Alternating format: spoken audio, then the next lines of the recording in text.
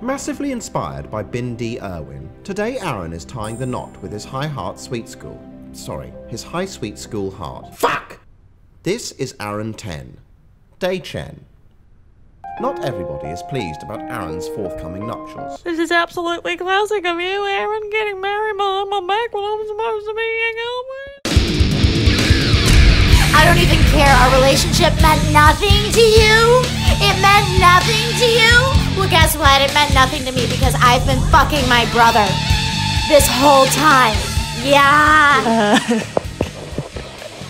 Why did you do this to me?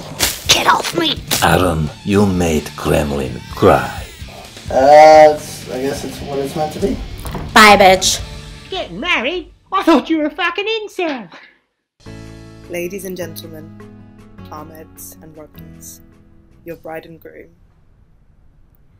It seems today that all you see is violence in movies and sex on TV. But where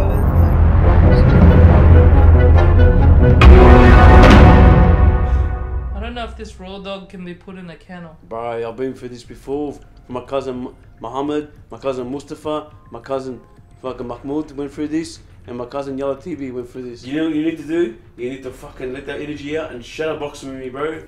Put him up, come on, bro. Shadow box with me, bro. You're right, man. Shadow box.